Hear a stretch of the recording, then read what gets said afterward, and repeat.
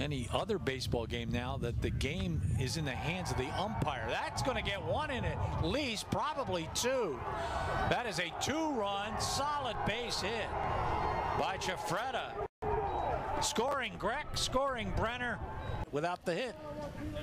Those two runs will be counted against Matt Stanford. This one driven right field. This one's way back there. It's out of here. Way out of here, right side. Pete Ciuffreda with a huge blast to make it 6 nothing. Well, hello, Jack Hamilton. Hamilton steps in and throws a fastball to Ciuffreda, and he just simply puts it out of here. My guess is that one carried about 360.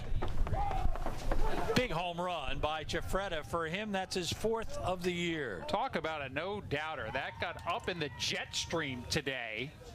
I say that when I look at the flag, and it's hanging still out there. But Ciuffreda put a charge into that one. Third inning, and there it is, the big blast by Ciuffreda.